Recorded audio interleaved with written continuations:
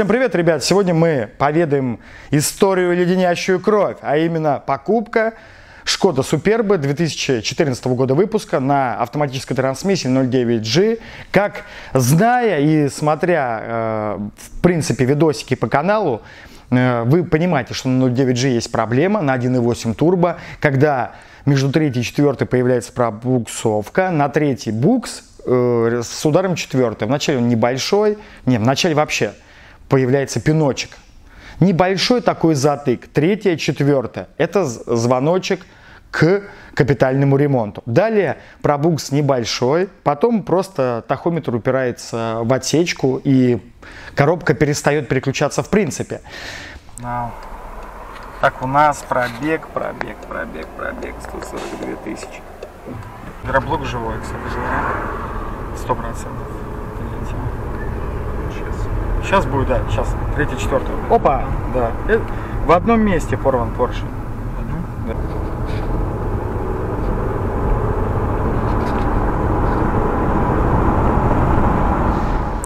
Подписчик, зная эту тему, продал свой предыдущий автомобиль Opel Insignia на TF80. TF80 айсиновская шестиступка с внутренним фильтром, прекрасная коробка. Просто неубиваемая, на ней можно ездить и ездить. Он хотел что-то посвежее себе приобрести э, и клюнул на объявление о том, то, что, ну, опять же, слезно ездила женщина, ездила бабушка, все мы следили э, и так далее. Перешит салон, то есть у нас вместо обычного стокового потолка алькантара, по кузову она идеальная, смотрите, какие колесики, она действительно очень хорошо выглядит э, на тоneре. Эм, то есть э, такая аккуратненькая суперба получилась. То есть визуально она производит приятное впечатление в принципе. И внутри, и снаружи. По салону никаких затертостей и так далее. Но опять же, мы не обращаем внимания на трансмиссию. У каждой коробки есть свой определенный ресурс. Бомба замедленного действия заложена уже изготовителем – то есть никто вас там не пытается э, надурить, специально поставить поршень в пакет К2, который проворачивается и порвется и так далее. Это просто заводской конструктив, заводская недоработка. В этом случае мы, кстати, будем дорабатывать опять трансмиссию. Э, Все же надо ездить на ней хотя бы пару лет. Хотя бы. И предыдущий владелец тоже должен порадоваться то, что у него усиленное железо будет. Единственное, то, что мы не будем производить ревизию гидроблока, потому что если поменять здесь поршень К2, то есть при капитальном ремонте железа, все это усилить, плюс к этому поменять гидроблок. Это нынешний, нынешний бюджет, нынешняя финансовая обстановка у всех. Плюс, э, если все делать э, по фэншую, гидроблок, бублик, железо, это можно, может перевалить вообще за 100 за 120, за 130. Заказ снарядов вы очень много присылаете, где вы перебрали коробку за 140 тысяч и ничего там внутри не поменяли. Это нормально. А знаете почему? Потому что нет видеоотчета. Как вы докажете, что, что там меняли, а что не меняли? Видеоотчета нет. Нет никаких доказательств. Заказ снаряд моя дочка может распечатать за 5 минут. Э, эти Филькины грамоты, я имею в виду. Если видно, что касаемо ставили, они просто предоставили запчасти, которые якобы поменяли,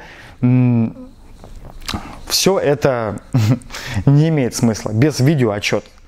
Видеоотчет, когда, например, мне меняют экран телефона, да, там чувак говорит то, что экран телефона стоит там 8 тысяч рублей, я его поменяю, не китайский поставлю и так далее. Я ему GoPro даю и говорю, ну, ты зафиксируй мне, и тогда за услугу получишь денежные средства. По-моему, это по-честному. Кто-то на это не согласится, кто-то на это согласится. То есть, если человеку скрывать нечего, он действительно поставит то, что нужно, он это зафиксирует на видео. В этом нет ничего потустороннего. Э, нет вмешательства в частную жизнь, потому что будут, фигурировать его действия, а не он сам, там, и он не будет в это время записывать влоги. То есть важно понимать, либо присутствовать при капитальном ремонте, либо же э, давать э, оценку, исходя из видеоотчета. Никто на это не согласится, так что на это мы забиваем. Так вот, история какова? Он, естественно, купил данный автомобиль. Идеально он по коробке переключался. Первая, вторая, третья, четвертая, пятая, шестая. Исходя, но перед этим, так как у него была Opel Insignia TF80, он, естественно, видео по поводу третьей и четвертой на 0.9G 1.8 турбо не смотрел, что это Шкода Octavia A5, Суперба, Passat B6 и так далее. Приобрел, две недели отъездил и появился пробукс между третьей и четвертой. Но самое интересное, э, он был у предыдущего владельца уже, он то есть косяком продавал, либо без. Здесь можно там, предполагать, что да, предполагать, что нет, только предположение. Но важно точно понимать, учитывая, какая здесь жидкость в коробке, ну, может быть, была частичка, но она была 1100 назад. По одометру 140 тысяч плюс. Э, визуально по автомобилю, именно по днищу, мы как в андеграунде, мы только способны оценить автомобиль, э, э, его обратную сторону. Вот по обратной стороне можно много что сказать. Подтеки, попытка демонтажа и так далее. Здесь, слава богу, этого нет, никаких подтеков, попыток демонтажа и так далее.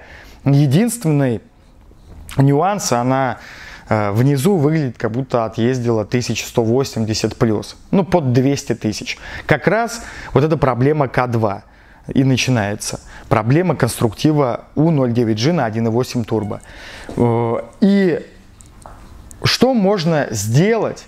Вот сейчас самое основное могу сказать. Если небольшой пробукс есть, при продаже автомобиля могут занулить адаптацию с помощью ваккома. Она какое-то время может не пробуксовывать. То есть не будет пинка между третьей и четвертой, какой, какой-либо промежуток времени. Как раз продавец может переехать в другой город, либо сломать симку, заблокировать э, нынешнего пользователя автомобиля. То есть вопрос только в том, был ли у него этот косяк, но он э, наступает не резко. То есть в начале предпосылки удар между третьей и четвертой, а потом пробукс.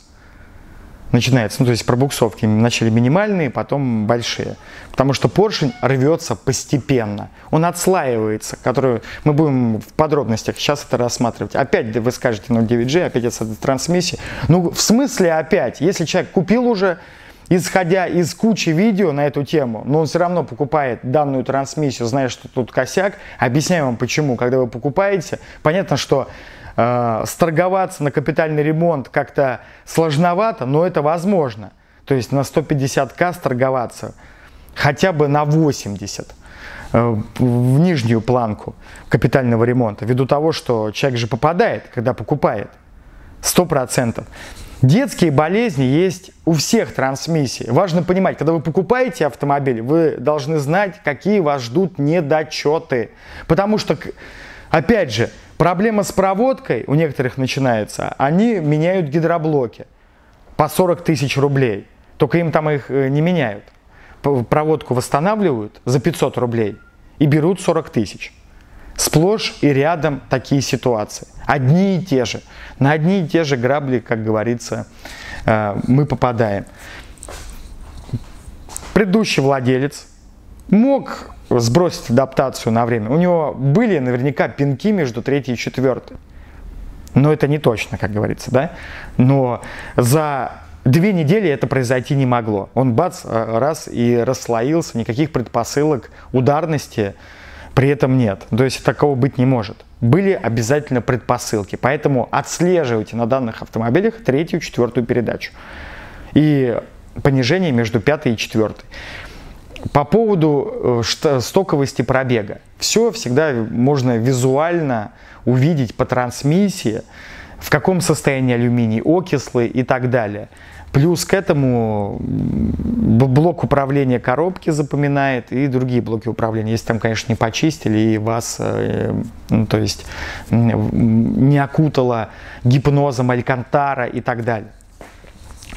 Важно здесь запомнить, при обкатке автомобиля, любого, на автоматической трансмиссии и так далее, бывает так, что пока у чувака есть пинки, он может обнулить адаптацию, к примеру, манипуляции э, с помощью компьютера, который стоит там максимум тысячу рублей, со знакомым чуваком, который в этом деле шарит. И временно ударность приключений может пройти. Временно. Поэтому важно отслеживать, в каком э, состоянии жидкость. А вот эти вот э, коробки ну, если даже стоковый пробег там 140-150 тысяч километров, один владелец, все, идеаль, все в идеале. Здесь, кстати, два владельца уже. Получается, он третий будет, мой подписчик. Даже если все идеально, то вы должны понимать, детская болезнь, она неминуема. До 200 тысяч километров это огромное исключение, что это не произойдет. Огромное исключение. Так что давайте мы начнем разбирать э, данный автомобильчик и посмотрим, что да как. И капитальный ремонт вещь не то чтобы сложная, а здесь очень много позиций утаивается. А именно, первое, если сделать по максимуму срезкой гидротрансформатора, заменой гидроблока, то мы бюджет у нас 120 тысяч плюс получается. Это 100%, потому что ремкомплекты, комплект поршней уже очень сильно все подорожало. И масло в том числе. Далее, при капитальном ремонте, когда возьмут эту сумму, э, есть ли э, процент того, что эти позиции не, по этим позициям не пройдутся и не поменяют? Конечно.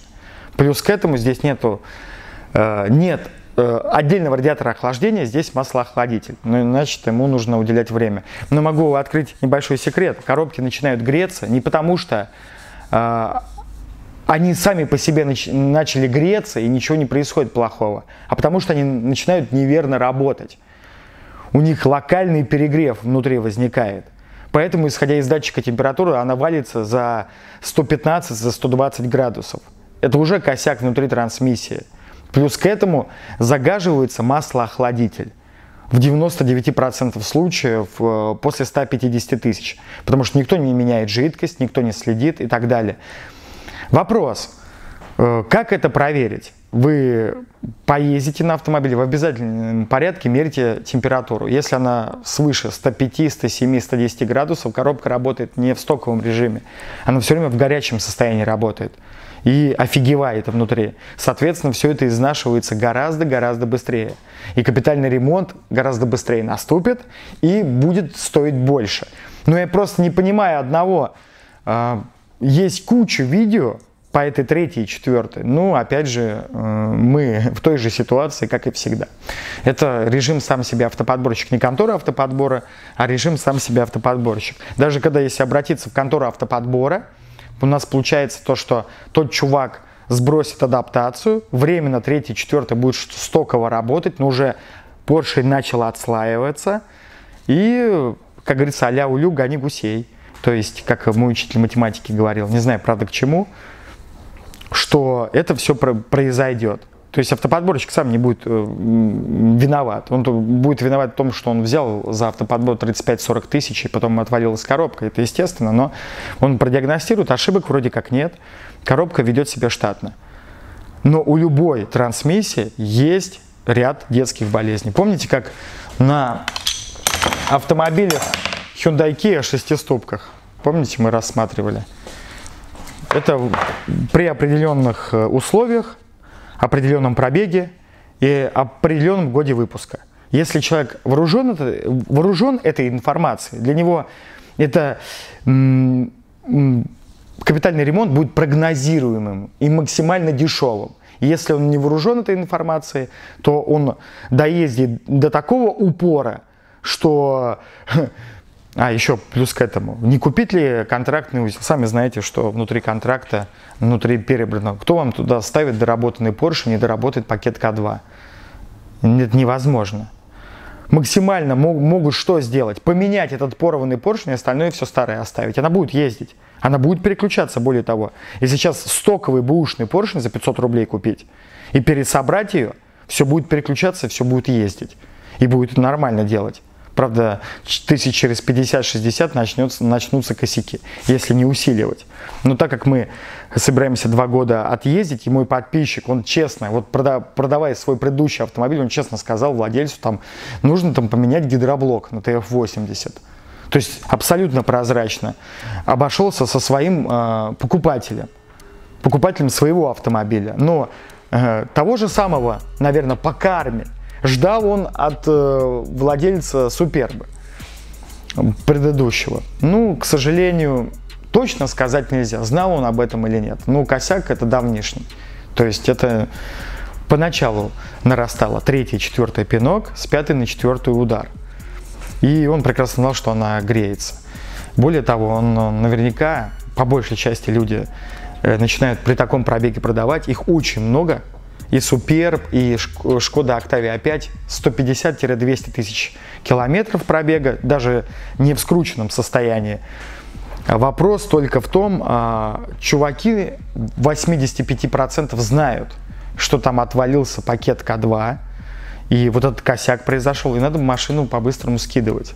Вот, в этом вся ситуация. Давайте ее рассмотрим поподробнее сейчас, перед тем, как оператор, оператор. Ну, она, видите, покрыта и пленочкой всевозможной, и жидким стеклом. То есть по кузову-то она вкусная. И у нее, походу, конъюнктивит небольшой есть. Ну, заморочились с ее, так сказать, детейлингом. Детейлинг это, конечно, хорошо, но мы-то с вами, ребят, занимаемся фундаментальными вещами. Так вот, видите, и потолочек, алькантара. Ну, вообще прикольно, да. Прикольно сделано, приятно находиться в автомобиле. Но, опять же, Пускай вы купите стоковую машину без всяких наворотов и с небольшими косяками по кузову, но трансмиссия будет в нормальном состоянии. Ну, вы меня понимаете. Вы обязаны знать, покупая, продавая, какие вещи происходят с коробками. Тем более очень и очень много сейчас информации. Интернет всему голова. Будем ее разбирать. Посмотрим, что тут с жидкостью. Ну, сами понимаете, тут наверняка все э, достаточно плохо. Менял я частично, менял. Да все меняют частично. Кстати, надо за новой головкой съездить на 17.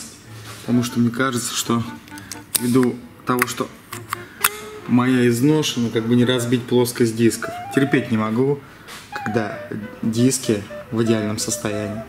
Приходится головки покупать. Да ладно, я шучу. Чтобы не разбивал эту поверхность, у меня уже подразбитая на 17 голова. Чтобы вот эта плоскость тоже в идеальном состоянии оставалась. Потому что здесь это делали аккуратно. Это аккуратность нужна была еще с трансмиссией. Давайте посмотрим. Еще б не закручен. Вообще.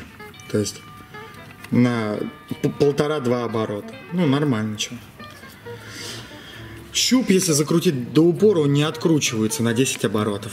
Но что-то мне кажется по э, трансмиссии здесь жидкость не меняли, даже частично, потому что все слишком штатно открутилось. Так, давайте выкрутим щуп. Выкручиваем, выкручиваем, терпение. Нигролтолуол. И вязкость, понимаете, ребята, вязкость. Когда масло изнашивается, вязкостные э, характеристики идут в пизду. Соответственно, видите, еще есть небольшая вмятина, синусоида. Ну вот вам как бы показать.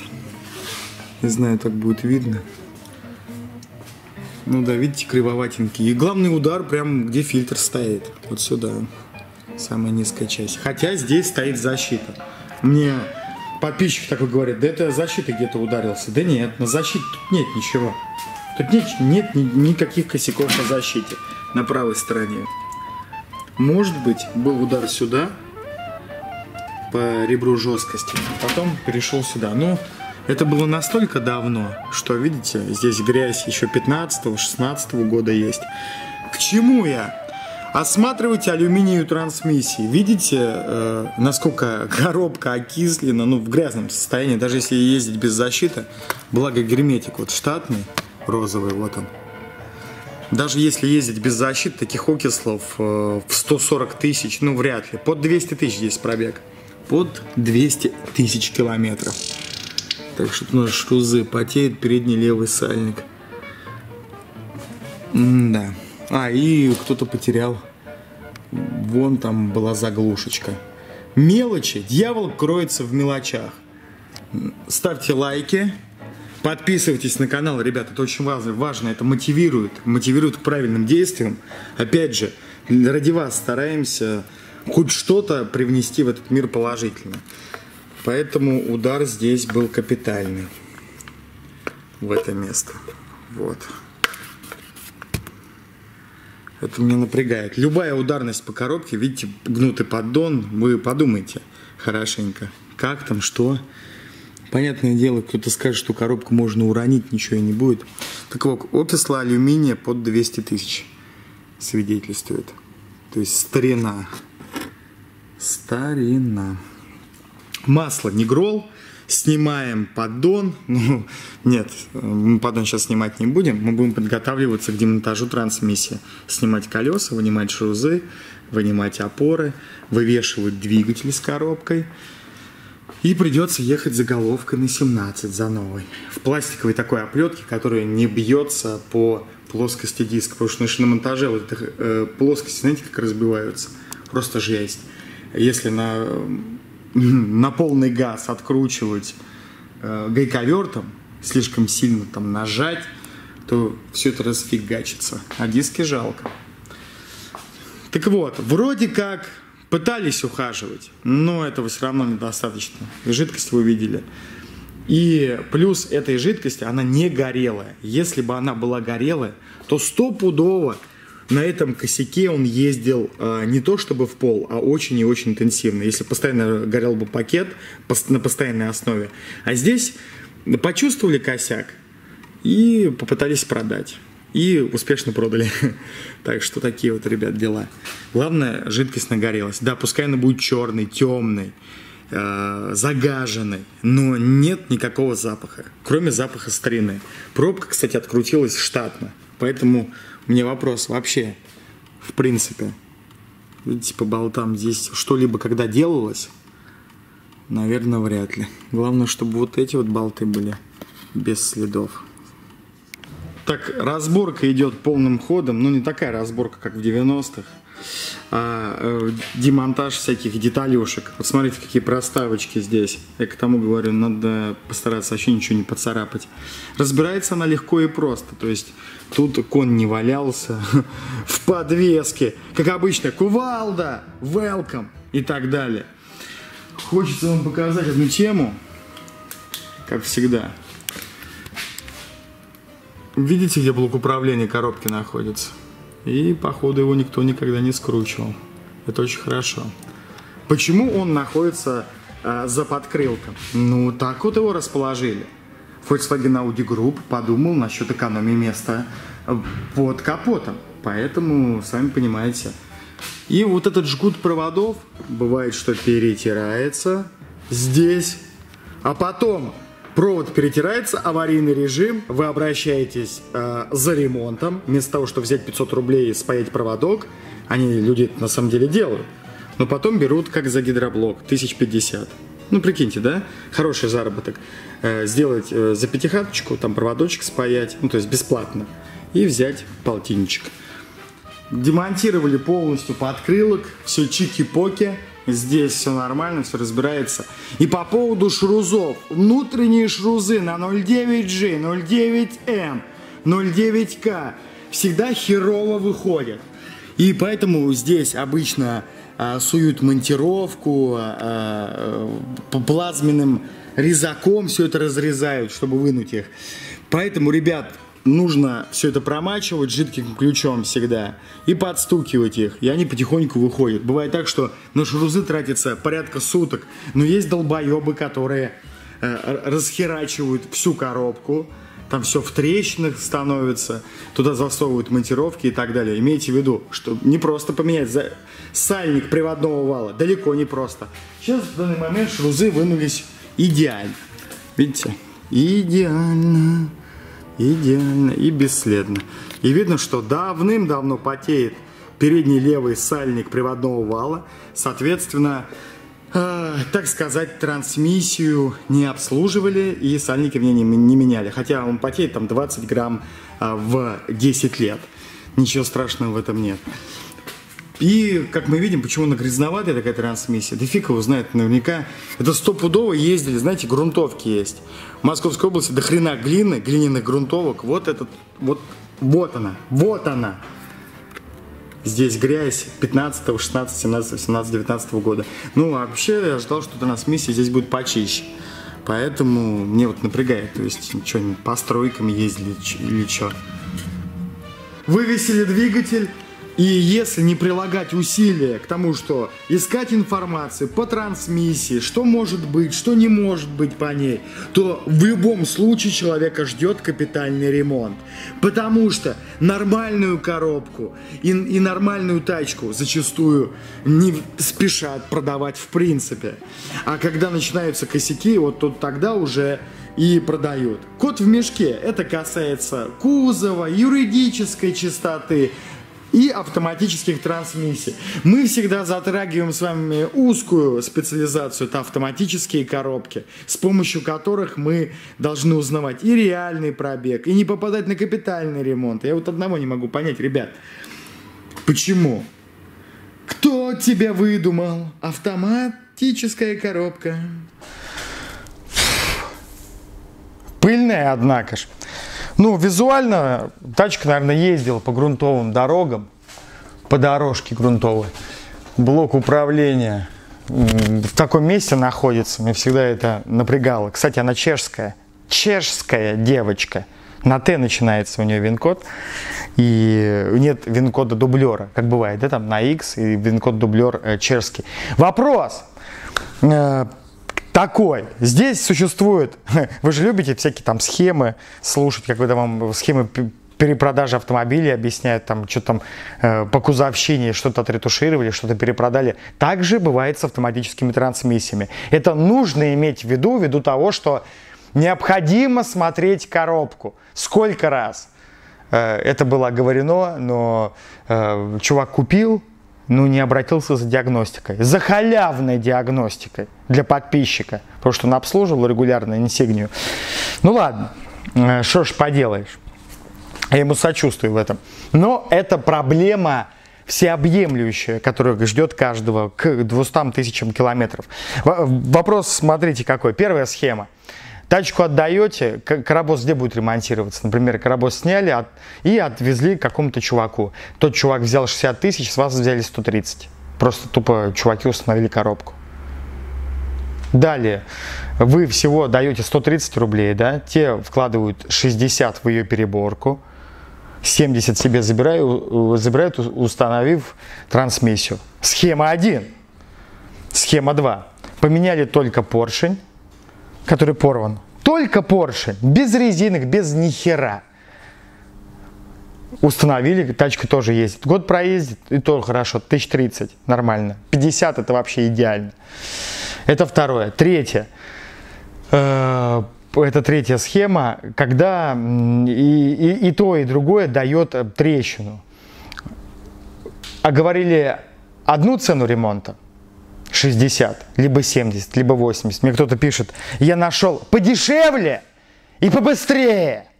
Ну, то есть, э, э, то есть пиздец. Это э, выбрал из множества путан ту, которая, блядь, все знает и все это сам. Такого не бывает. Подешевле, побыстрее такого не бывает. В принципе, у нас в менталитете, в экзоскелете и в генетике это не заложено. Могу сразу вам сказать.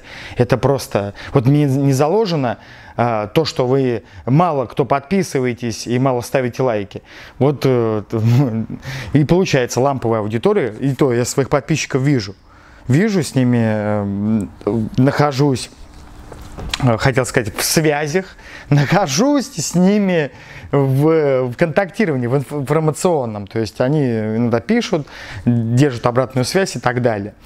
Э, есть также люди, которые хотят э, подешевле, побыстрее. Это для них вот третья схема. Отдают тачку, обещают там 60, а потом это 140 ну, коробка разобрана. То есть тачка, она еще вот не разобрана, вот ее разобрать на столе, как мы с вами любим делать. Э, мы с вами эту схему не любим делать, я имею в виду, мы просто любим э, разобрать это на белом столике на нашем. Э, белый стол, он такой винтажный, мне он нравится. вместо там 60-80, по факту такой, с вас 140. А договаривались на 60, либо на 70, либо на 80. Это средняя цена. Это схема 3. То есть первая схема. Отдаем коробку хер знает куда. Ну, то есть э, вы тачку отдали, в принципе, вам же по подавляющему большинству все равно, да, кто ее будет чинить, там, э, э, Равшаны, либо же еще кто-то. Отдали тачку, отвезли коробку. Схема номер два. Поменяли только резиночку одну, вложив в коробку 500 рублей по запчастям, а вы заплатили за запчасти 50 тысяч, а вложили 500 рублей в запчасти. 50 тысяч и 500 рублей. Схема номер три. Сказали 60, потом это 150 просто плюс 90. При третьей схеме это делают в одном месте, при второй схеме делают э, тоже в одном месте. При первой схеме везут коробку в Новый Ебенево. А, здесь, э, э, чтобы не попадать на эту тему, нужно знать детские болезни трансмиссии. Видео очень много на канале, без, бесплатная информация, что самое основное, бесплатная. Мы не кнопочки обозреваем, не Э, расширение. Вот видите здесь э, какие, так сказать, приблуды стоят, чтобы э, колею, так сказать, э, как-то изменить. Все это прикольно и хорошо. Человек заморачивался и вкладывался в машину. Но, есть одно но. Когда все это началось, третий, четвертый небольшой пинок, он еще почитал об этом, что это 09G, 1.8 турбо, может быть даже посмотрел видосик и Правда, не учел одного, то, что он моему подписчику продает данный автомобиль. Мал золотник да дорог. То есть, понимаете, аудитория Пускай маленький. Мне человек такой сказал, да на тебя никто не подписывается, у тебя аудитория настолько маленькая. Поеду, я а, отремонтирую за 60 тысяч коробку. В итоге у него получилось 150 и месяц ремонта. Представляете? То есть месяц прибирали такую трансмиссию. А, то есть обосрав, приехав обосрав, уехал и отдал 150. Мгновенная карма. Ну ладно, ему сочувствую на самом деле. Надеюсь, у него все будет хорошо. Желаю ему, что все же починит ему там трансмиссию. Без видеоотчета, без ничего, потому что неизвестно, что там установили. Вопрос только в, одном. То есть э, при покупке автомобиля знать, что за трансмиссия ряд детских болезней. Более того, со временем, вот на протяжении десятилетия, ты понимаешь уже, какая трансмиссия жилец, какая нет, когда ты ездишь на ней. Это раз. И так ты, когда понимаешь тачку, видел практически любую коробку в разобранном состоянии, понимаешь, здесь ее снимали, здесь ее демонтировали, а зачем ее снимали? И уже одно и то же. Не надо думать, что у вас вот этот пинок только у вас такой. Не бывает, ну такого не бывает, он всегда повторяется. Детские болезни, трансмиссии повторяются разного рода, поэтому нужно пошукать в интернете все же всю информацию, даже если влом смотреть видео, и для себя иметь в виду. То есть я покупаю там DQ200 или DQ250 DSG и так далее. Потому что в противном случае мы получаем. Еще немаловажный нюанс на 1.8 турбо часто текут э, сальники, задние сальники коленвалов, задний сальник коленвал здесь. Ну, это все. Вопрос по охлаждению. Э, то видео обосрали по поводу того, что установил радиатор, попал на коробку. Это понятно. Это обосрали наверняка те, кто доп. радиаторами и занимается. По тридцаточке их устанавливает. Но коробка начинает греться из-за того, что криво работает. Мистика. Она греется из-за того, что криво работает. Когда вот эта вещь чистая, свыше 95 градусов не бывает. Это уже проходили, перепроходили. Так что, ребят, подписывайтесь на канал, ставьте лайки. Все ради вас. Пятый, вру, два часа ночи пока что. Пока еще нет рассвета. Вот уйдем на рассвете, разобрав трансмиссию. Опять это будет К2. Поедем с запчастями, будем собирать. Итак, ребят, мы демонтировали коробку, как вы уже видели. Сейчас будем ее разбирать. Э, стыковка коробки двигателя называется свадьба. Простонародье. Сняли поддон, посмотрим, что у нас в поддоне. У нас в поддоне я нашел бронзовые стружки. Ее, правда, не особо много, хотя есть, есть. Вот она, вот она, вот она. Как узнать, что коробке пришел Алис? Вот когда вот такая вот бронзовая стружка присутствует, вот такого вот размера большого, это означает, что ребят, э, все не особо хорошо. Ездили долго, и она очень острая. С бронзовых втулок э, сняло данную стружку, а также с планетарных э, механизмов. Разберем, посмотрим. В принципе, фильтр, я вижу, здесь особо-то не забит. Может быть, его просто меняли когда-то. Но бронзовая стружка присутствует. Конечно, хотелось бы, чтобы ее не было. И весь поддон мы можем заметить, почему ил образуется. Это от блокировки гидротрансформатора, от непосредственно фрикциона, который внутри бублика находится. Фрикцион внутри бублика со временем стирается, и все продукты износа у нас оказываются в гидроблоке и на поддоне оседают. Тем более на 0.9G, как утверждалось, что на этих трансмиссиях в основном гидротрансформатор умный, ну то есть у него умная блокировка. Он э, сам знает, когда блокироваться. И, ну то есть нагрузка на сам бублик повышенная на этих трансмиссиях, достаточно высокая. Отсюда продукты износа фигачат. В основном ил, он бы был бы безопасным, если бы регулярно менялась жидкость, то бы все это говнище промывалось, все было хорошо. Но так как ничего не делалось никогда нормально, э, менялось все время частично, то с этим бороться, ну как, невозможно. Кстати говоря, ну если была частичка, ну может 1100 назад, сами понимаете, сейчас уже определить. Ну куски есть, куски есть присутствуют. Давайте дальше разбирать ее, все же полностью разберем и уже посмотрим. И автомобиль долго может ездить э, с имеющей стружкой, но сами понимаете, когда отрицательные тенденции запущены, это как бомба замедленного действия. Не сегодня, не, не, либо сегодня, либо завтра, либо через месяц, либо через год, это все неминуемо. Чтобы подавать давление к пакетам и регулировать это давление, а также э, подав... открывать определенные масляные каналы, чтобы определенные пакеты с фрикционами у нас схлопывались. Существует гидроблок, он управляющий мозг. Это сложное техническое устройство, ребят. И от него очень многое зависит. Он немного может косячить, совсем чуть-чуть и коробка потихоньку будет умирать. Но в нашем случае здесь это заводская недоработка пакета К2. Для того, чтобы проверить на герметичность его, вот они есть масляные каналы многочисленные. За каждый пакет свой масляный канал отвечает. Вообще здесь все разумно и правильно.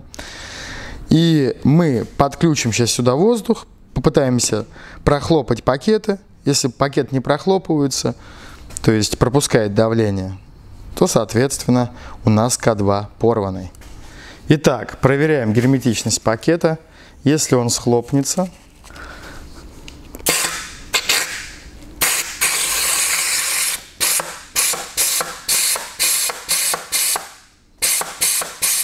Он немного слопывается, но видите, образуется масляный туман, это значит, что он не герметичен.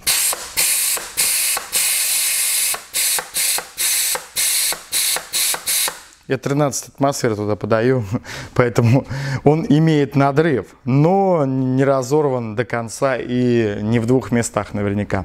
Давайте разбираем дальше. Э, когда все новое, к примеру, установим, у нас э, глухой звук, то есть он будет герметично держать, и это будет видно по продувочному пистолету. Не будем это все дело мучить. Масляным туманом, кстати, дышать не особо-то безопасно. Все разберем, потом это будем мыть, убирать и так далее. Сейчас на стадии разборки мы, ребят. Итак, продолжим, пожалуй. Вот мы добрались до пакета К2. Это к тому, не меняйте жидкость, ребят. Видите, какой налет в трансмиссии образуется. И вообще от нее жидкость не как э, э, обычно, а погрязнее она. Учитывая то, что разбирал более старые машины, там 2007 года, и корпус внутри был чище гораздо, нежели здесь. Здесь, наверное, за жидкостью не следили вообще. Из того, что увидел, по остальным пакетам фрикционным Фрикцион все нормально, в принципе. Здесь мы заострим с вами внимание на заднюю передачу, пакет реверса. Смотрите, что сделала с ним температура. Он начал отслаиваться. Здесь эти фрикционы под замену, соответственно. Далее, гидроблок, чистка, гидростенд и прочие вещи. Ну, мне нареканий не вызывал, когда перед тем, как ремонтировать что-либо, нужно машину тоже обкатывать. Потому что, может быть, ее не имеет смысла брать в ремонт. Может быть, там человек скажет, мне нужно быстрее и дешевле. И впоследствии, когда коробка уже будет разобрана, он скажет мне, ну, я нашел где дешевле и быстрее, я ее забираю и так далее. Нужно всегда договариваться на берегу и, в принципе, тогда уже можно говорить о каком-то будущем трансмиссии. И не стоит чинить тому, кто не будет ценить, я имею в виду, не будет потом следить за трансмиссией. Сколько ситуаций у коллег и прочее, когда коробку перебрали, все в идеале, он опять чувак ее посадил в поле, посадил в кувет, ну вы поняли, начал буксовать и так далее, не меняла жидкость, и все вокруг у него гондоны. Такого быть не может. Каждый человек должен сам нести ответственность за самого себя, прежде всего. Здесь Коробка изначально как завода не будет. Кувалда, да, вы, кстати, замечаете, зачем нужна кувалда? Она нужна, это талисман. Как завода она не будет. Она будет плавно работать, да, но заводского, как вот с нуля километров новая коробочка, нет. На новых машинах я ездил и на всех перебранных трансмиссиях тоже ездил. Разница есть всегда. После любого ремонта, любых контор и так далее. Так вот, сейчас разберем вот этот пакет. Это и есть пакет К2. Четвертая, пятая, шестая. Он, в свою очередь, крутится себе в корпусе. Мало того, что он крутится, только еще схлопывается пакет с фрикционами. То есть система достаточно простая, в кавычках, естественно. Конечно, обозревать автомобили с точки зрения, вот смотрите, Какие здесь фары, какой здесь детейлинг. Вы только посмотрите на шагрень. Мы этого не будем. Мы обычно с вами начинаем с фундаментальных вещей, что действительно приносит пользу. А обозревать автомобили, не зная наполнения, из чего они состоят, как делает большинство, ну, правда, они деньги хорошие, ребят, зарабатывают. Милли... Мультимиллионеры, можно так сказать. Но что они с коробками не сидят.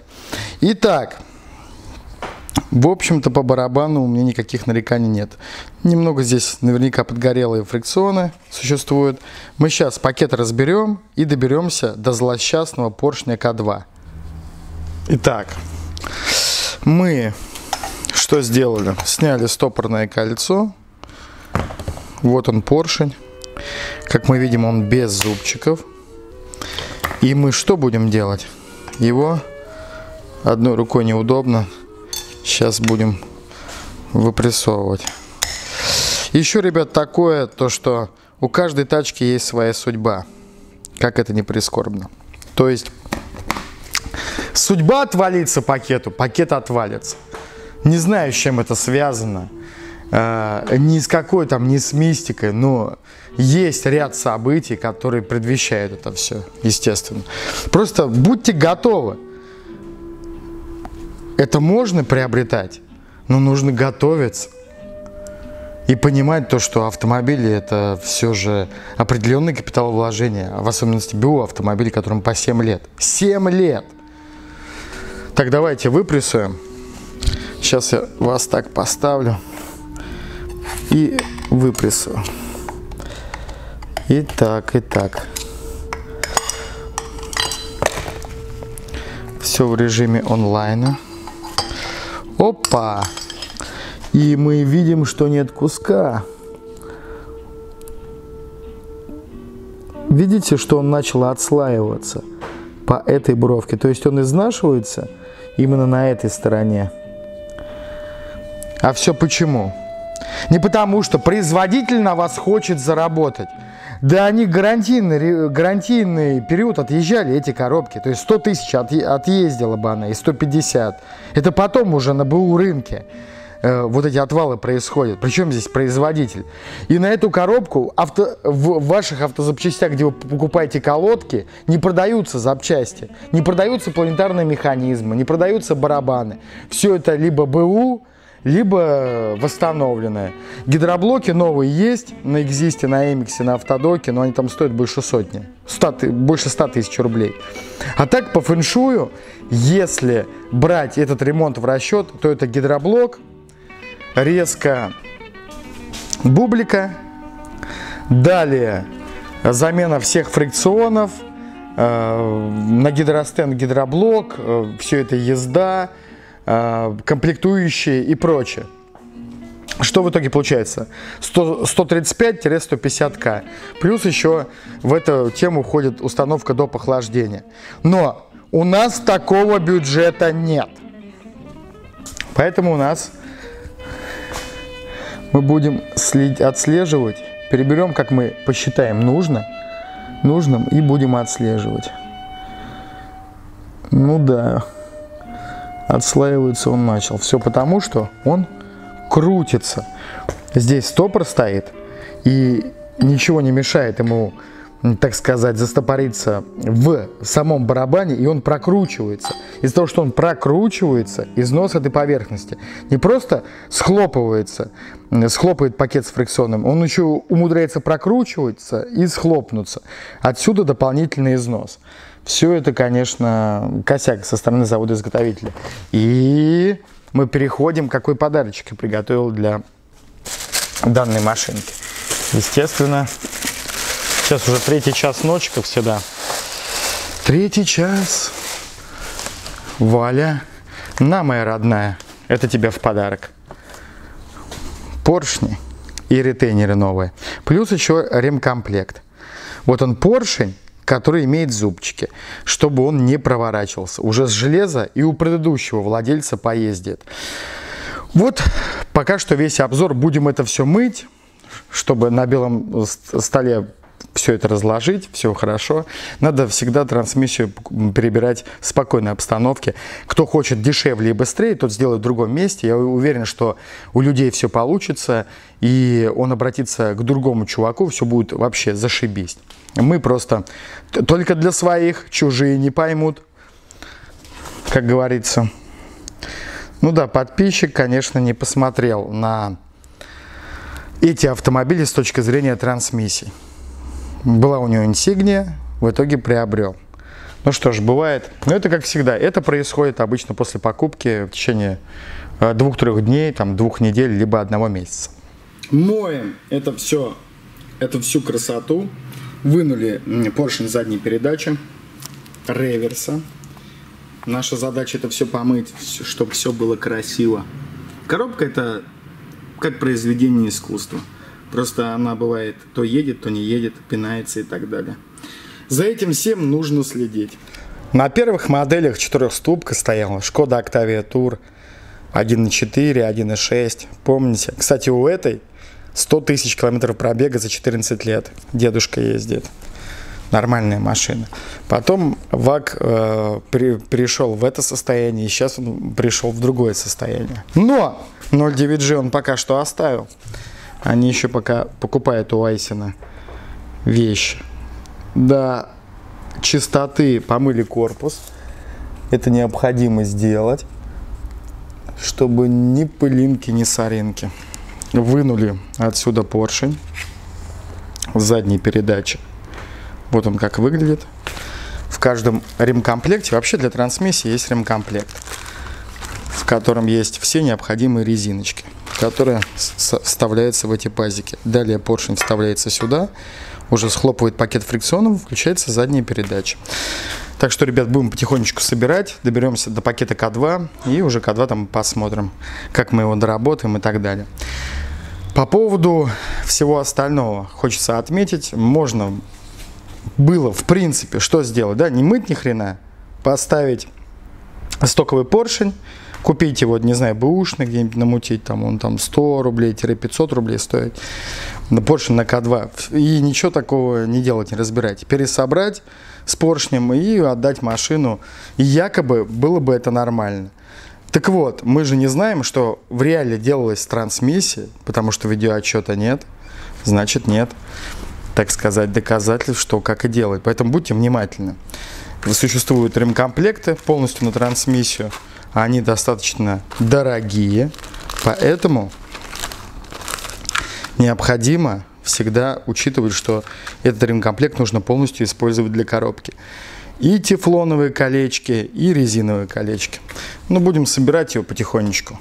Экологически все чисто. Паучок забрался, оператор пауков боится. Я ему подарю на день рождения. Так, итак, у нас продолжается второй день нашей телестройки, можно так сказать. Пойдемте посмотрим, что оператор испугался. Вы видели бы, как он бегал от паука. Пускай живет. Это же Спайдермен. Кстати, надо его как-нибудь прозвать там.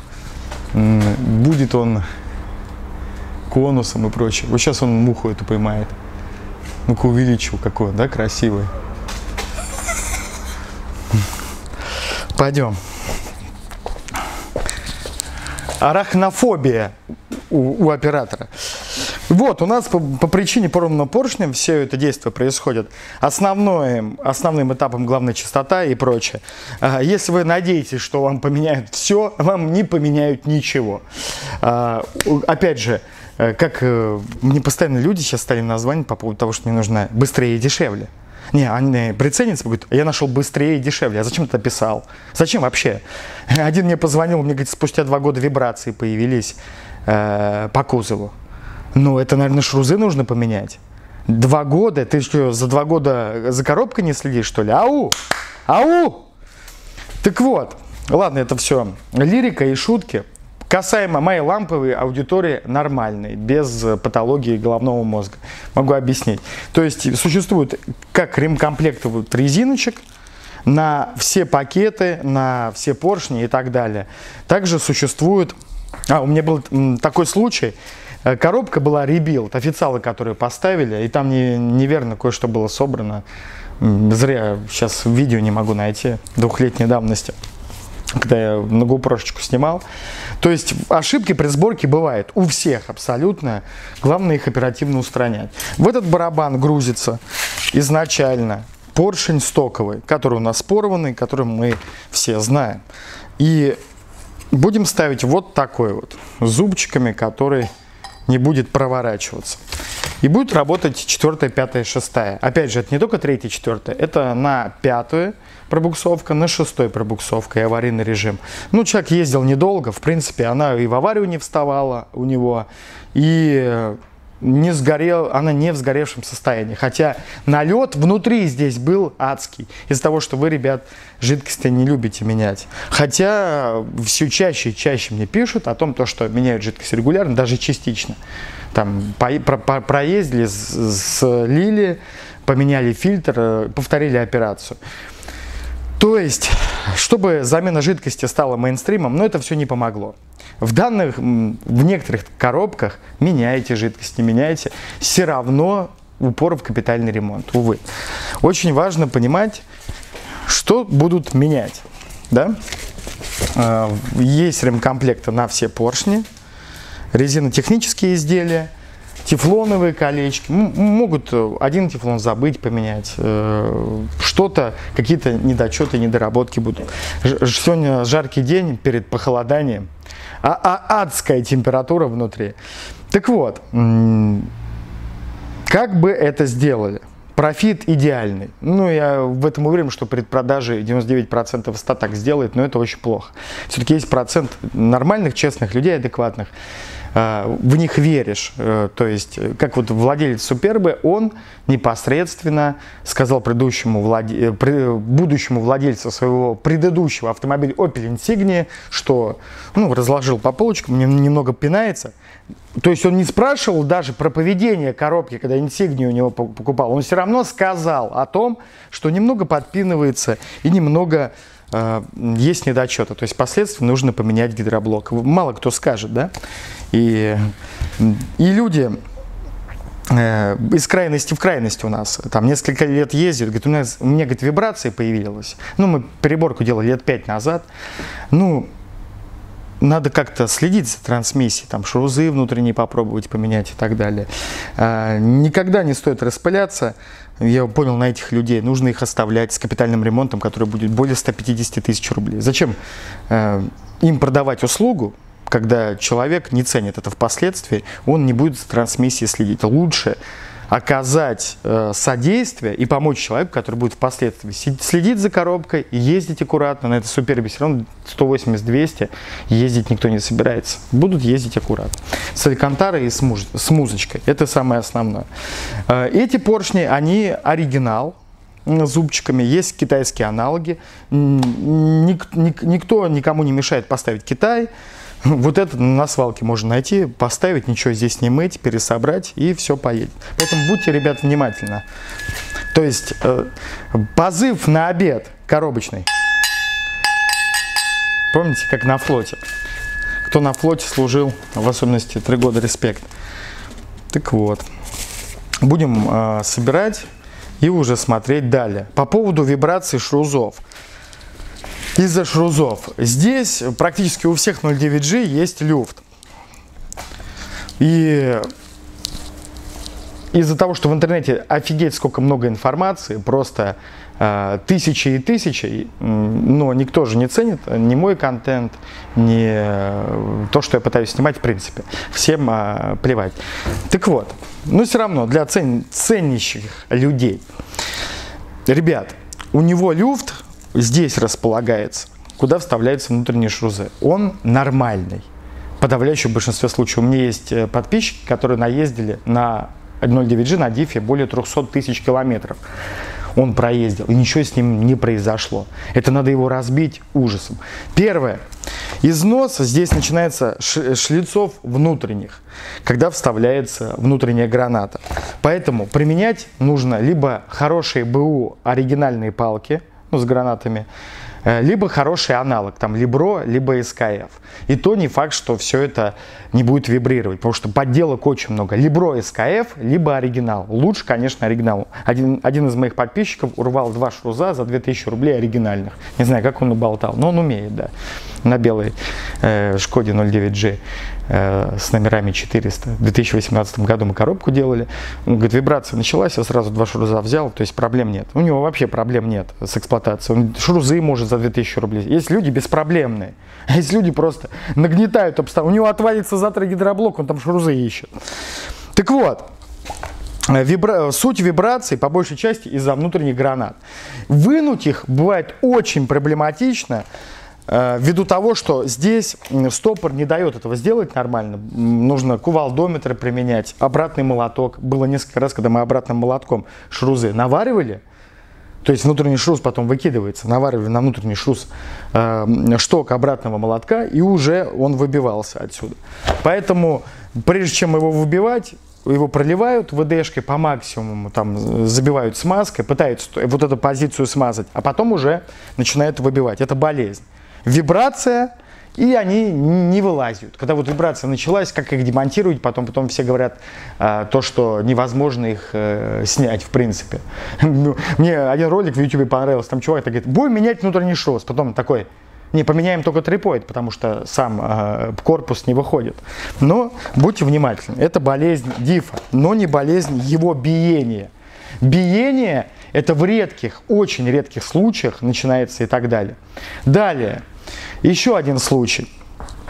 Практика – великая вещь, даже не теория, даже не теоретики, которые на доске вам что-то чертят, а об, об автоматах вещают. Они на них не ездили, их не разбирали и вряд ли что-либо э, знают о них в принципе, да, кроме...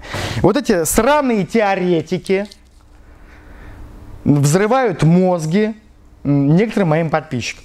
Так вот, начался шум. Сколько раз было из-за того, что шумели ступичные, в особенности, когда два ступичных подшипника шумят сразу, бывает так, бывает левый, бывает правый, такой гул появляется. Один из нерадивых чуваков такой говорит, да это говорит, див начал в 0.9G шуметь. я пишу, это у вас ступичные подшипники. Чувак не пишет, но мне же сказали, что это див. Я говорю, окей, тогда 40 рублей, но звук останется. Я говорю, 40к будет стоить работа, но звук все равно останется. Почему так звук останется? Я говорю, потому что это подшипники. Надо было все-таки поменять.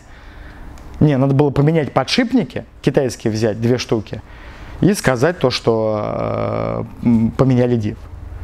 Так надо было сделать, чтобы вот это доказать. В итоге он вне зависимости от мнения 35 механов, ну, мое мнение э, не котируется же, я сказал, что это ступичное. Все сказали, что это div 0.9G. Ну, им виднее, они же коробки перебирают правильно. Мы с вами 0.9G вообще там не разбираемся и не знаем, что. В итоге он меняет ступичный, и звук пропадает. Мистика! Поэтому, ребят, диагностика 99% успеха. Все эти позиции нужно прорабатывать. И в процессе эксплуатации, то есть после капитального ремонта, это в зависимости, как человек будет следить за трансмиссией. Ну, обычно нормальные люди там начинают регулярно менять масло и не ездить в реваческом режиме. Потому что э, то, что, к примеру, Ему два года назад делали, я его предупреждал о том, то, что есть износ гидроблока, и гидроблок нужно поменять будет впоследствии, который от 35 тысяч рублей стоит. Потом э, позиция номер два. Маслоохладитель мы почистили, но до похлаждения ну, по-крутому все сделать никто не отменял. Поэтому и отсюда и вырастает разовое в некоторых конторах, которые нормально занимаются в Москве, нормальной переборкой, нормально все делают, идеально, 135-140к, потому что они комплексно сразу подходят. Может быть это правильно в связи с большим потоком клиентов. Это логично. Но а здесь, в этой ситуации, мне нужно подешевле. Поэтому мы занимаемся восстановлением железа, а на вкусненькое уже потом оставляем гидроблок и до похлаждения. Ну, не факт, что те, которые, взяв 140, опять же, поменяют все в железе. Так что все, ребят, собираем и соберем сейчас К2 и будем продолжать дальше. Итак, то есть, э, чтобы из крайности крайность не получилось, не получилось там э, довести капиталочку до 140, Нужно делать поэтапно железо, допилить гидроблок, имею в виду отвести его на гидростенд, ну, тем более здесь нормально работает. И уже потом в течение двух лет можно накопить и на гидроблок, и на допохлад. Ну вы понимаете. То есть вначале фундаментально, вот этот косяк, который присутствует на всех 0.9G. Сейчас мы, фееричный момент, мы его, видите, он уже не будет прокручиваться. Он как-то, опа, и все. Далее будем все это собирать и прочее. И эти зубчики не дают ему движения. Поэтому капиталка, капиталки рознь. Проще откапиталить вначале железо, потом поэтапно человеку проще по сумме добрать уже в течение двух лет, там двух-трех лет и гидроблок и прочее. А если он ему срать и он ни зачем не следит, то проще таких в принципе в работу не брать. То есть не оказывать услугу по человеку, который ничего не хочет и не хочет модифицирования и ввождения каких-то корректив и так далее. И жидкость он не будет менять. Проще тогда есть доширак и сидеть дома, чем а, взять в ремонт ту трансмиссию, которую он ну, работает там за месяц. Что бывает? Из, с одной стороны, из двух зол. С одной стороны, потребительский терроризм, с другой стороны, чуваки, которые тупо вместо этого поршня что-нибудь сделают другое и не примут э, во внимание полностью ремкомплект, который стоит, а возьмут, то есть э, на запчасти потратят 500 рублей, они даже масло отработанное зальют. Вот и все. Так что, но мы будем делать все это по фэншую. Кстати, у, у нее конъюнктивит до сих пор не проходит у девочки. Пакет К2 идентифицирован корпусом чистеньким. Давайте его проверим. Подуем туда. Продуем, посмотрим. Поэтому не каждую коробку можно чинить.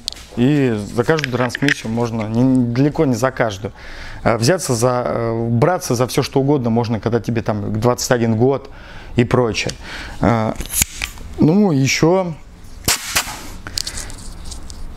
э, когда еще не хватает, так сказать, а, ну ты, у тебя просто замылен взгляд, думаешь, что все у тебя получится.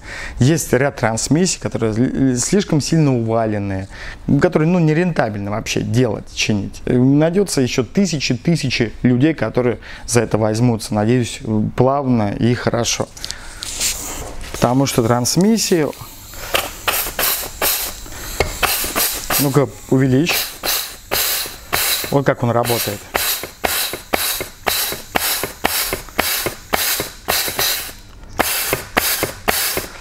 То есть э, давление в гидроблоке, там перемещается плунжер, под, подает в этот масляный канал давление. И у нас получается магия с включением и четвертой, и пятой, и шестой.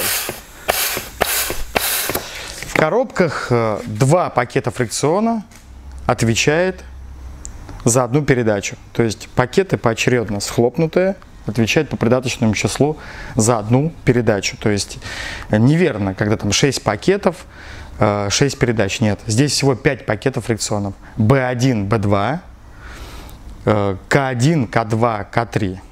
Вот так вот. Всего лишь 5. То есть 6 передач. Так что, ребят, ставьте лайки, подписывайтесь. Все-таки э, это все мотивирует к дальнейшим действиям, к дальнейшим э, раскопкам. В принципе, а то э, рентабельно это снимать, все нерентабельно. Это надо учитывать то, что исходя из вашей реакции, положительно, отрицательно, неважно. Вашему вниманию пакет К1. Здесь меняются резиночки, поршень здесь металлический. Далее, что еще делается? Помимо этого, меняется вот такая вещь. Называется ретейнер. Новенький, красивый. Итак, каждый пакет. Если проебать какой-либо из пакетов, ну, в принципе, не поменять вот эти вот резинотехнические изделия, то ничего хорошего не будет. Какой он красивый, когда отмытый. Красота. Ждешь? Ждешь свою трансмиссию? Ну жди, все будет хорошо. Только пакеты фрикционов на столе. Смотрите, ребят, какая ситуация. Ретейнер новый, там резиночки новые, пакет помыт. Ну, то есть барабанчик чистый, можно заправлять фрикционы. Так вот, в нем-то все хорошо. Его можно, в принципе, оставить. Так вот, я к вам к тому говорю, доказательств же нет, как вам делают. Оставляют здесь старые резинки, либо нет. Кувалда наше все. Так, ребят, погрузили пакет К1. Итого мы со собрали трансмиссию, потом, начали у нас К2 с поршнем зубчиками, потом у нас B1, я уже забыл B1 это или B2, это B1, который за заднюю отвечает реверс. Далее К1, собрали уже три пакета. Осталось К3, вот он как выглядит, перебрать его. Его тоже можно Э, в принципе, было бы оставить, но нафига коту гармошка? Мы его переберем. К3 и Б2. Все это проработаем. И так вот трансмиссия строится из разных пакетов. Итак, из чего состоит пакет К3, получается? Мы будем, во-первых, менять вот эти вот резиночки. Видите? К3. Резиночки. Поршень, кстати, в этом пакете тоже без зубчиков. Он многоразовый. Здесь просто резина. И тоже может прокручиваться. Поэтому не менять, что менять а что-нибудь одно и не менять остальное, да. Кувалда нас ждет. Далее, вот это называется ретейнер. Он тоже без износа, его в принципе можно было оставить. Но так рассуждает самое. И что самое главное, людям говорит, в течение двух лет Сделайте ревизию гидроблока, либо накопите на гидроблок, а также следите за температурой всем по... Ну, вы поняли. Поэтому лучше адекватно брать в ремонт, который будет впоследствии правильно ее эксплуатировать. И не уган. Так, здесь это все тоже мыть. Э, пакеты фрикционов в этой позиции, они нормальные. Кстати, штатные фрикционы лучше, чем покупные. Это вам могу стопудовую гарантию сказать. Они просто лапочки.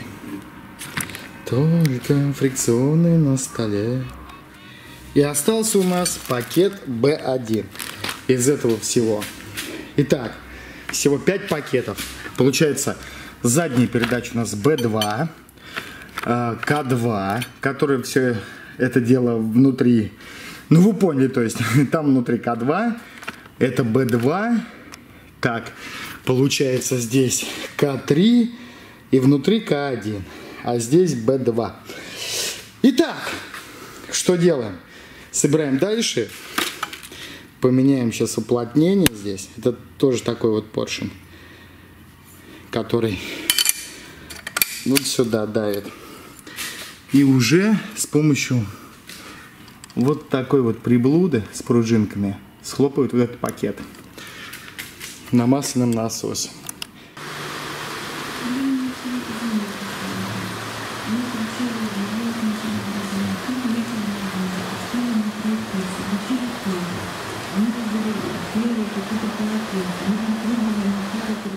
Осталось проверить пакеты фрикционов. Их нужно прохлопать.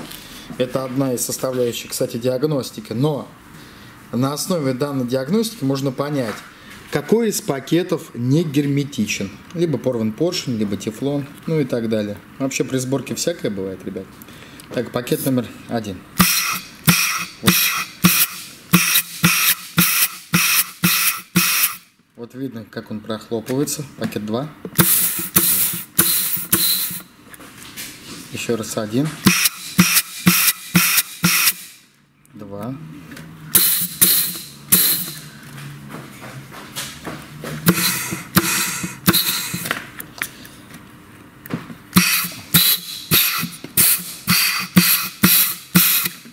Так, третий.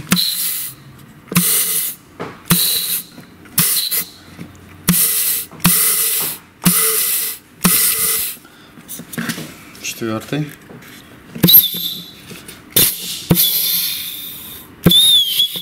Это за...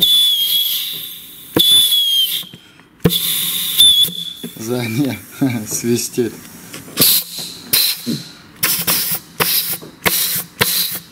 К2. Его слышно, он хлопает, все бодренько. Так вот, это не совсем, в принципе, объективно считается, ввиду того, что всегда следует учитывать то, что они могут прохлопываться. Все в железе может быть нормально, но с гидроблоком беда. Именно гидроблок по своим масляным каналам сюда распределяет давление. При монтаже, демонтаже всегда возникают определенные трудности, много всего можно поломать, снести, вырвать, э, забить потом молотком, э, холодной сваркой склеить и так далее. Поэтому будьте аккуратны. Все это нужно делать предельно аккуратно. Итак, Нужно все это дело установить. Запомните, бойтесь коробок, которые подозрительно чистенькие, от песка стройные. Внутри могут таиться посторонние вещи, бушные запчасти и так далее. Э, желательно, конечно, контракт либо БУ всегда вскрывать при установке. Но мы это всегда делаем. Но так кто вам позволит? В принципе, я не приверженец контрактов, ни бэушных, потому что не знаю, где лежали, как лежали, ну и так далее. Никогда никто не скажет, что он обосрался. Ну, например, по коробкам, либо по автоподбору, либо сам говномобиль подобрал. То есть никто никогда не признается. А вот при, признание своих ошибок в этом и есть истина. В начале, когда мне было лет 20, я так думал, то, что, блин, надо ничего не признавать. Но существует позиция кармы. Давайте посмотрим. Мы залили сюда жидкость уже, собрали все. Прям так все красиво. Ну, дособираем, когда проверим, чтобы ничего не текло. Э, в этом тоже надо быть осторожным. Сборка тоже офигительная. И у нас отвалился газовый упор. Она стояла три дня с открытым капотом. Потом я пошел дособирать и пришибло меня капотом. Спасибо тебе, мой дорогой, спасибо, братишка, что ты мне это, тачку с таким газовым упором дал. Мне чуть не разрубило спину ее. Еще чуть-чуть. Ну, чуть-чуть не считается. Ну что, поехали? Ну что, братан, поехали. Оба! Так, пришлось одежду постирать, чтобы не испачкаться. Так, в начале смотрим.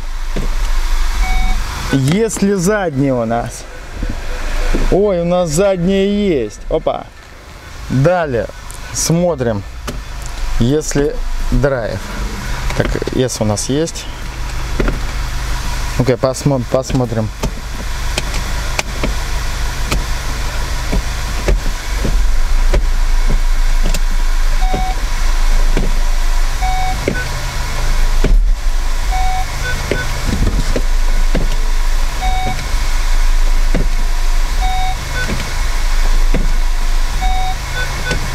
Это манипуляции необходимы, чтобы прогнать по пакетам. Так, если перед есть. Ну что, поехали потихонечку. Сам до этого не ездил. Только вместе с вами первый раз. Так, что, вторая. Третья. Идеально пока. Четвертая. Идеально пока. Чуть-чуть перегазовка идет. Надо чуть отпустить. Пятая, вот. На подъемнике нужно быть предельно. Вот шестая. Вообще она бомбически переключается. Я не знаю, может быть на Супербе такая прошивка, но до 2000 она строчила очень и очень быстро.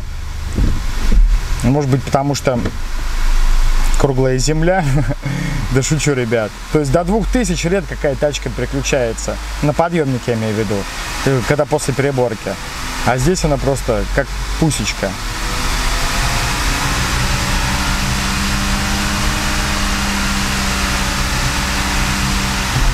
Пятое.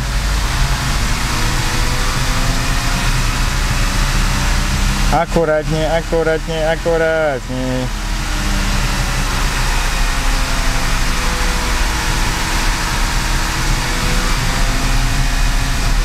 Шестая. Ну, сейчас пару раз прогоним ее, а уже потом на дороге, ребят. Нормус. Шикарно. Как в Саус Парке, помните? Норм. Ударов нет никаких. Э, на подъемнике важно ее прогнать, но перед тем, как выезжать, сами понимаете, можно выехать и там остаться. В, у городе на шнурке ее потом сюда притаскивать. Нужно катануть, крутиться на, на, на подъемнике, как и прочее. Изначально трансмиссия там прикатывается, она становится плавнее через тысячу, когда протирается тефлон. Э, бронза и так далее. Поэтому она будет еще плавнее после первой смены жидкости, когда тут плюс 1000 будет 143 472. Ну, если человек, конечно, приедет менять, а то некоторые люди вообще не приезжают менять потом э, жидкость, экономят. Понимаете, экономия должна быть экономной, то есть надо потратиться. И исходя из этого ремонта, гидроблок здесь поживет еще. Можно, конечно, порекомендовать было еще 45к в него вложить, и было бы чики-пики, но нет. Так что мы с вами проедемся по дороге и уже посмотрим, как там что. А никто вам не снимет, как кто обсирался, но обсеры я тоже снимал в свое время. Свои обсеры причем. Очень интересные случаи, ситуации были. Может быть, устану это все делать и как-нибудь все буду выкладывать потихоньку. Там определенные истории были, которые, ну, ну просто бомбически бы зашли. Ну, зачем грязь из избы выносить, сами понимаете. Не такой я человек. Ладно, поедем, проедемся по дороге и уже посмотрим. Дособираем ее вначале. Спасибо, что, что смотрите. Подписывайтесь на канал, ставьте. Потому что, ну, видите, она колеса крутятся, уже хорошо. Можно и поставить. Спасибо. Так, мы замотались, забыли аж камеру. Ну, здесь стоковый свет. Вообще, предыдущий владелец в нее вкатал 400 тысяч рублей, да, получается, по всем чекам? Ну, около 400. Да. Около 400 тысяч. И вот странно, да? Он в нее фигачил 400, а за коробку никто э, не вложился. Итак, поехали, что у нас получилось. Мы уже давно ее катаем.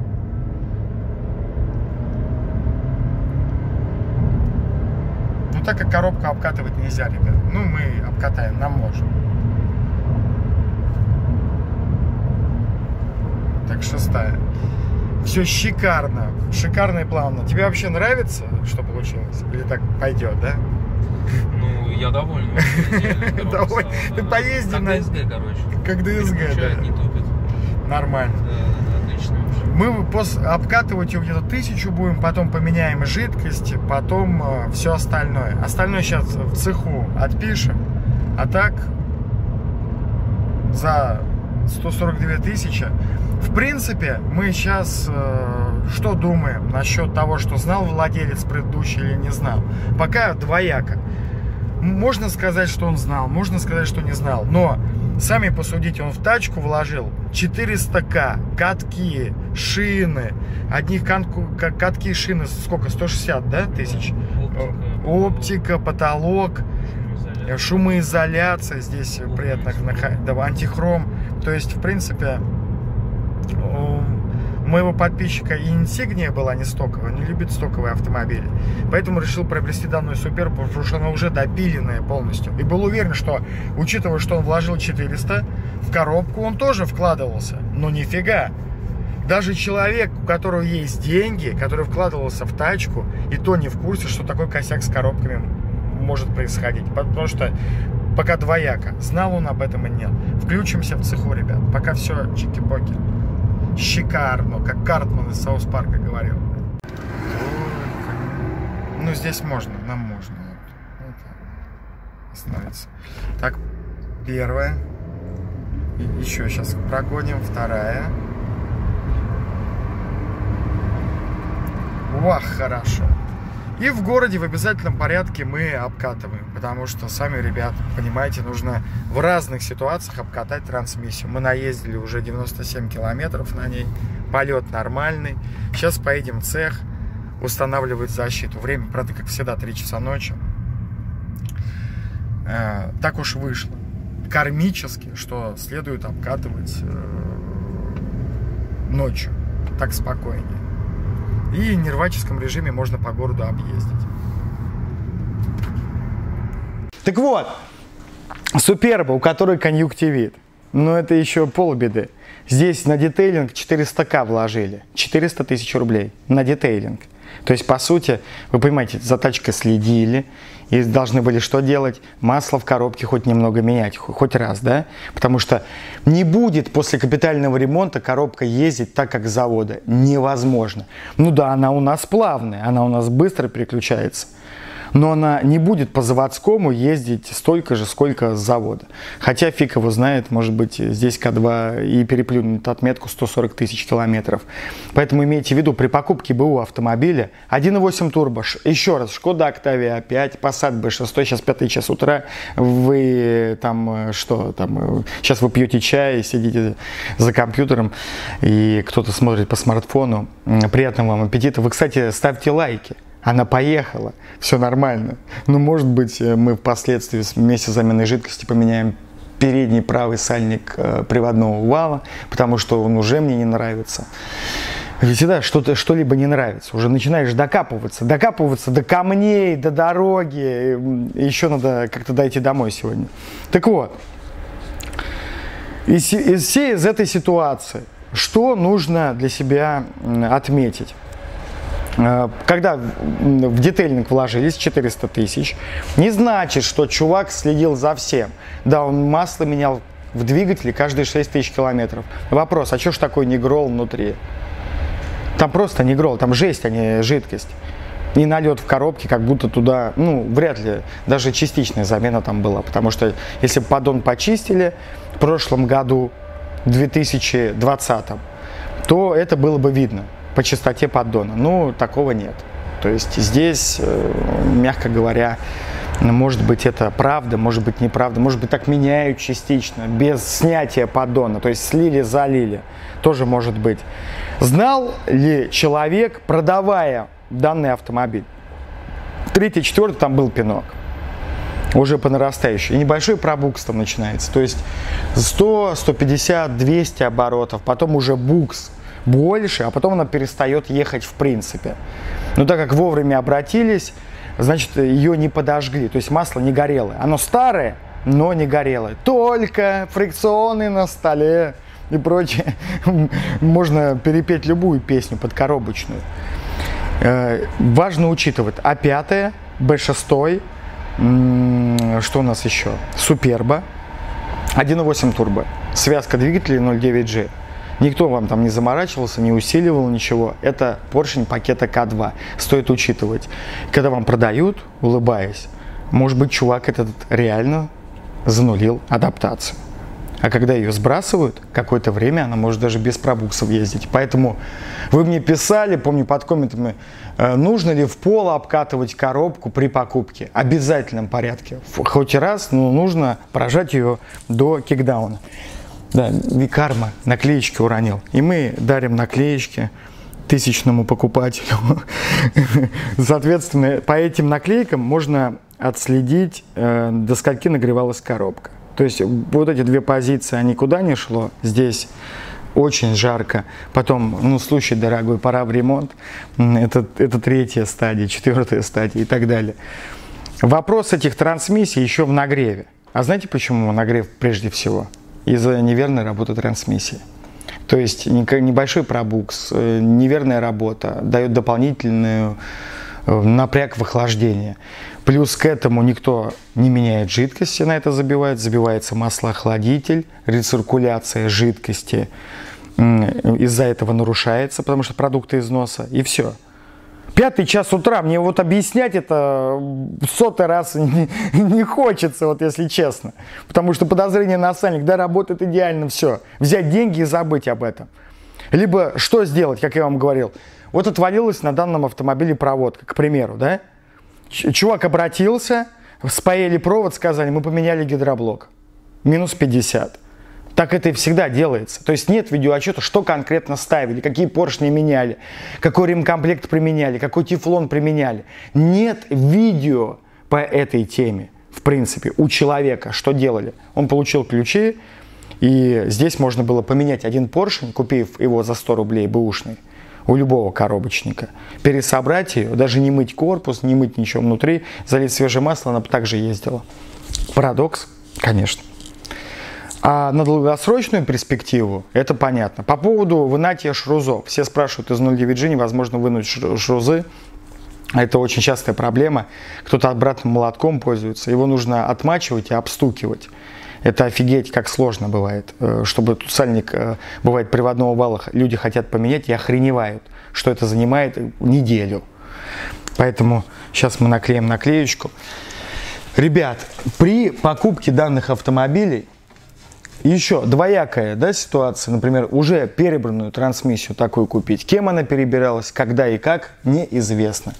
И как ездил человек, тоже неизвестно. Поэтому лучше купить коробку девственницу, да, а уже потом э, чинить, получается, с торгом. Ввиду того, что э, даже он светило который установил Алькантару и э, заморочился данным детейлингом по тачке. Все круто и хорошо, это шумка просто божественная на самом деле. Даже на некоторых волевых такой шумки нет. Все дорого, богато, но даже он мог обратиться за коробочным ремонтом, с него сняли 150к и ничего не сделали. То есть очень просто. Это очень и очень просто. Поэтому сейчас наклеечку наклеим. Главное ее не наклеить криво. Ну-ка, давай покажем. Только рюмка водки на столе. Вот как мы ее наклеим. Этого достаточно будет. У нас еще вторая в запасе будет. Я еще думаю, хорошо клеится, кстати говоря, по протертому. И уже исходя из этого Будем следить за подписчиком, а перегревал ли он ее? На самом деле, про, вот доп. радиатор, в каких моментах он помогает? То есть вот это вот система НИПИ. Если изначально на тачке он установлен, изначально с завода, да, с нуля, к примеру, не вот эта китайщина, а кит, который желательно установить от американского Passat B6 двухлитрового турбового. Есть эта тема, и можно там даже через э, общие автодоки, эмиксы и так далее подобрать. Э, штатный кит, чтобы все красиво смотрелось. И изначально завода использовать вот эту тематику, то это даст положительные плоды. Но К2 все равно отвалится. И вот вопрос. А если смысловая нагрузка, если у нас все равно проблемы будут с пакетом К2, который вот. Все равно будет он проворачиваться. Он рвется из-за того, что проворачивается. Когда он проворачивается и происходит дополнительный нагрев задней части трансмиссии. То есть здесь проблема существует. И эту проблему не решить с помощью доп. охлаждения, к сожалению. Единственное то, что изначально, если бы завода стоял дополнительное охлаждение, можно было сохранить некоторые позиции, например, такие как гидроблок и так далее. Почему мы по лайту, монтировка здесь лежит, э, средства самообороны номер один наш, э, коробочников.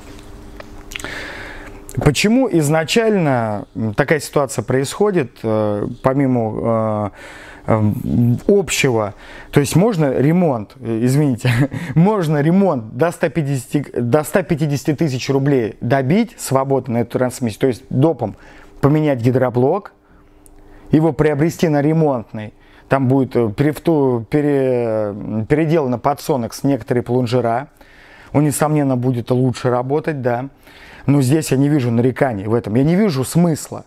То есть менять э, за 45 тысяч рублей гидроблок в рабочем состоянии на такой же, это смысла нет никакого. Далее, резка гидротрансформатора. Она обязательна или нет? Если много стружки, если масло горелое, туда, безусловно. Но тоже это лучше оставить стоковым. Поэтому 150 и меньше 100. Коробка правильно собранная и собранная с любовью, меньше 100 будет э, лучше переключаться, чем 150 так на отъебись сделаны. То есть э, здесь двоякая ситуация. Каждый сам для себя решает, как и что применяется. Касаемо вот ремкомплектов, которые у нас существуют, в принципе, они используются ли полностью?